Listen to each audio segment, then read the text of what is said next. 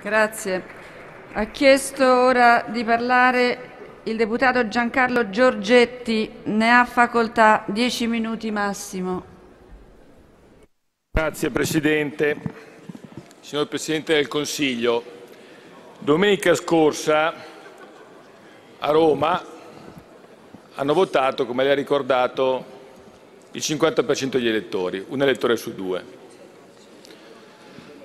Hanno votato con un sistema elettorale che prevede l'elezione diretta del sindaco, che prevede le preferenze, la scelta degli eletti, non eh, con le segreterie ma per mezzo degli elettori, con una grande quantità di candidati, uomini e donne, preferenze di genere. Ciò nonostante è andato a votare un elettore su due.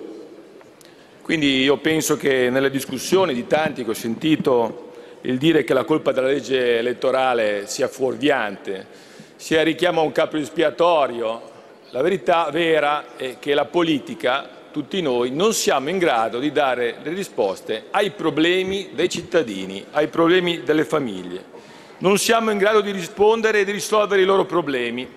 E i problemi delle famiglie sono i problemi del lavoro che non c'è, che non c'è per i giovani e non c'è anche magari per quelli che hanno 50 anni, che escono dal mondo del lavoro e non sanno veramente dove sbattere la testa.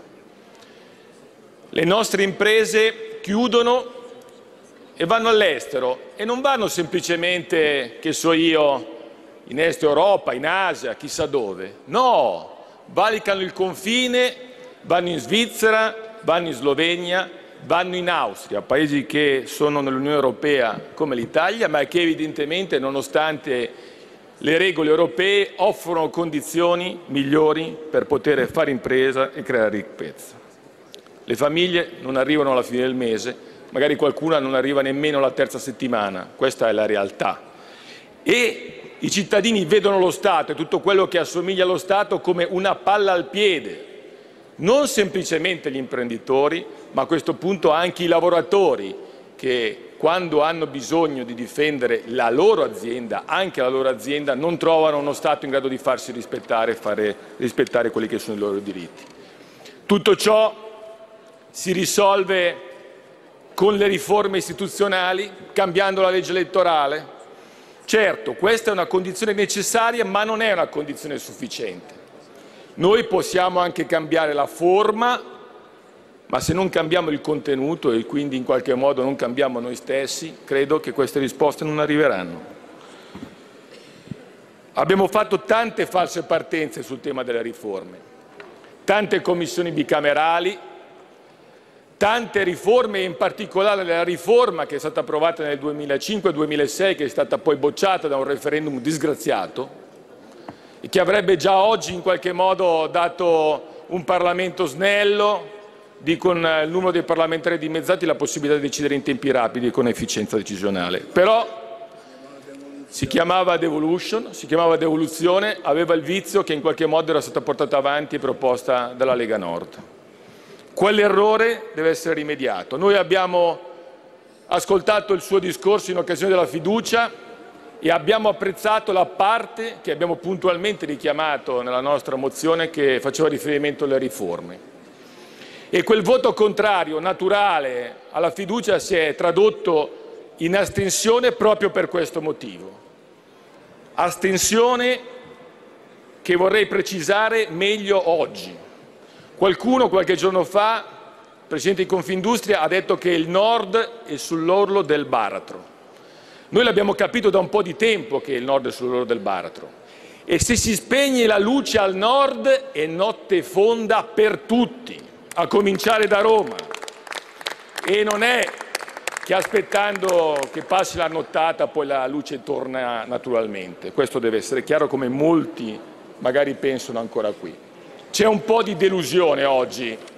Lei, motivando il giudizio sulla nostra mozione, ha detto che nel corso di questi giorni, di queste settimane, si è raffinata la proposta da parte della maggioranza e anche del governo. Eh, io penso che qualche magari piccolo passo indietro si è fatto, onestamente devo dire che eh, l'evitare accuratamente di entrare nelle questioni di merito e concentrarsi sulle questioni di metodo evita in qualche modo di scontrarsi con i problemi di una maggioranza così variegata, ma il passare dall'ambizione di una convenzione ampia che coinvolgesse anche, diciamo così, la società civile a un comitato di 40 non si chiama neanche più commissione bicamerale, ma io capisco naturalmente per scopi scaramantici evita di richiamare la mozione della maggioranza esperienze sfortunate del passato, quindi siamo passati al comitato, ecco mi sembra un passo indietro. E anche per quanto riguarda i tempi, il partire da subito 18 mesi di un mese fa, oggi mi sembra che sia un 18 mesi a partire di non so quando. Io, diciamo così, rinegozio quella scadenza partendo 18 mesi da oggi. Lei ha detto forse un giorno si ricorderà il 29 di maggio del 2013, io vorrei ricordare il 29 novembre del 2014 come una data conclusiva e importante e di cambiamento.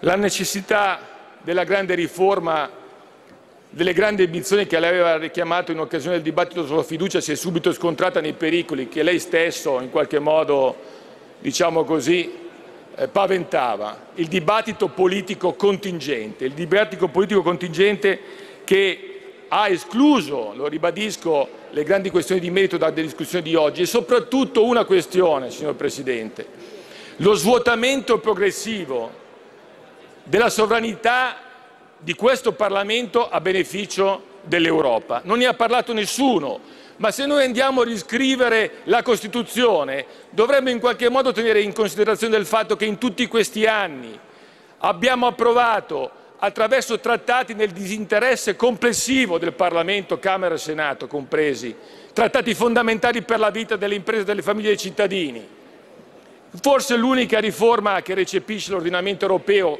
quella dell'articolo 81, che è stata approvata qui con la procedura costituzionale, anche quella è passata forse diciamo così, con leggerezza, non dico superficialità, ma con non il dovuto approfondimento necessario. Ora, finalmente, io penso, quel tipo di riforme che surrettiziamente sono passate dall'Europa dovranno essere ricomprese nella nuova Carta Costituzionale e finalmente il popolo, con un referendum che voi avete in qualche modo messo lì a chiusura di questo percorso, sarà chiamato anche a esprimersi su questo.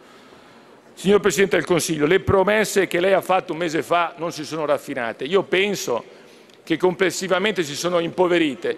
In qualche caso, faccio riferimento ad esempio all'IMO, si sono tradotte in un mero rinvio, quindi non credo che ci siano passi in avanti, però le voglio anche dire che la larga maggioranza che tutti invocano sulle riforme costituzionali è sicuramente una buona cosa.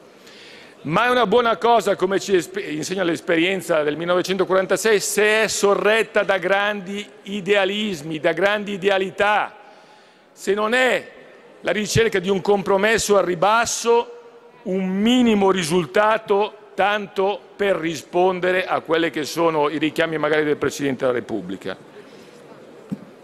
Qui, a differenza del tema economico, non servono i soldi.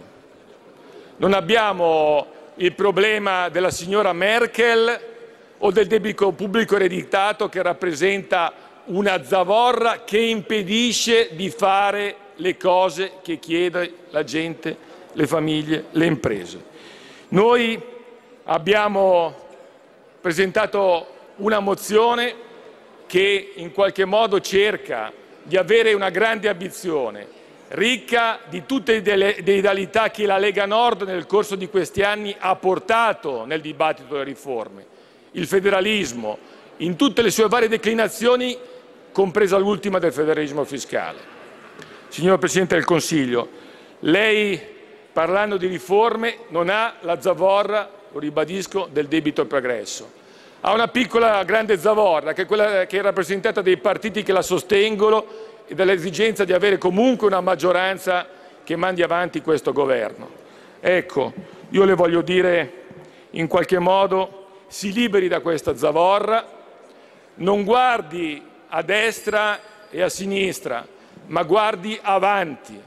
Se così farà, la Lega raccoglierà la sfida.